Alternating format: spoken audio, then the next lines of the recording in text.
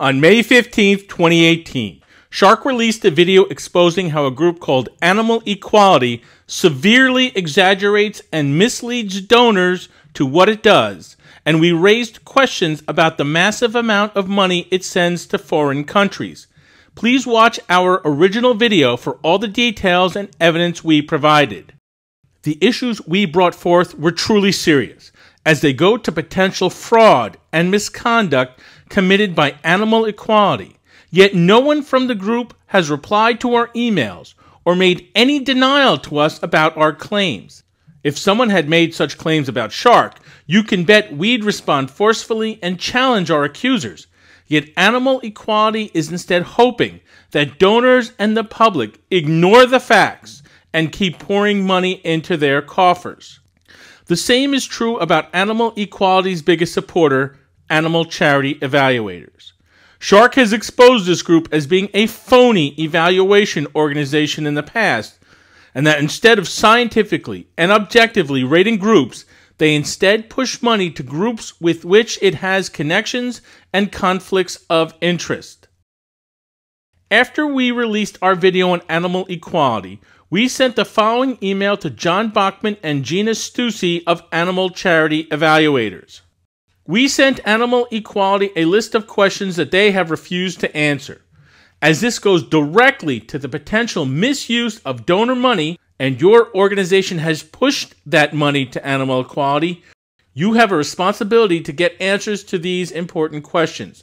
Please let us know what you intend to do. Neither Bockman nor Stuessy responded. Instead of taking responsibility for their actions, animal equality and animal charity evaluators are simply ignoring the criticism and they are hoping that no one is paying attention. Shark's first video about animal charity evaluators exposed how it had a very close relationship with an activist named Nick Cooney and that it pushed money to groups either founded by Mr. Cooney or at least one group he profited from. A link to that video is in the description section. In February of 2018, and in the wave of the Me Too movement, accusations of bullying and sexual harassment against Mr. Cooney were revealed not only in the media, but by his alleged victims. In a Facebook post by Nathan Runkle, the founder of Mercy for Animals, he apologized to women victimized by Cooney and wrote, quote, It was because of the mounting complaints from numerous staff that last year I forced Nick to resign from the organization. We will post links in the description section so you can read the accusations made against Mr. Cooney. Now, this is important because animal charity evaluators tried to ride the Me Too movement by making it appear that it was against accused abusers. For instance, it rescinded its recommendation of the Humane Society of the United States Farm Animal Protection Campaign because of similar accusations against Wayne Pacelle and Paul Shapiro. Yet it has been silent when it comes to its friend and inspiration, Nick Cooney. We wrote to Bockman and Stuessy and asked them that, considering their close ties to Cooney, had they or would they speak out against the accusations made against him? They never replied. Even more disturbing is that, in an article on nonprofitchronicles.com, Animal Charity Evaluators admits that it has information on gender bias and sexual harassment for some of the groups it has reviewed and promoted. Incredibly, Animal Charity Evaluators will not make that information public, putting potential victims at risk.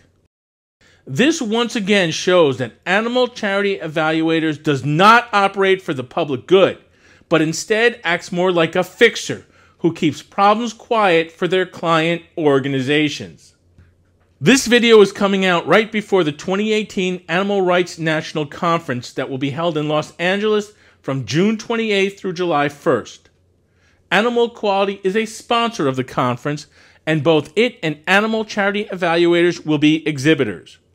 If you are going to the conference, please tell both groups that you saw Shark's videos Ask them to explain why Animal Equality is sending 70% of the money it spends to foreign countries without any accountability to its donors, and why animal charity evaluators ignores disturbing facts about the groups it promotes and refuses to speak out about Nick Cooney. Give them Shark's phone number and tell them that we are prepared to debate them anytime and anywhere.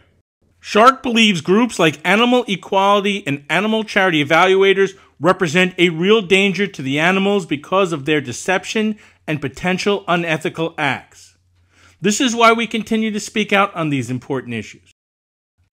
Our animal friends desperately need groups that are truly dedicated to helping them, not profiteering off their suffering.